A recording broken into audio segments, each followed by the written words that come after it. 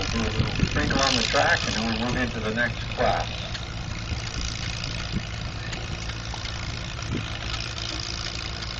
Oh no. That is. 4,490 pounds. So Yeah. he's on the light side of this particular class. Usually you'll see at least 46, 4700 pounds, of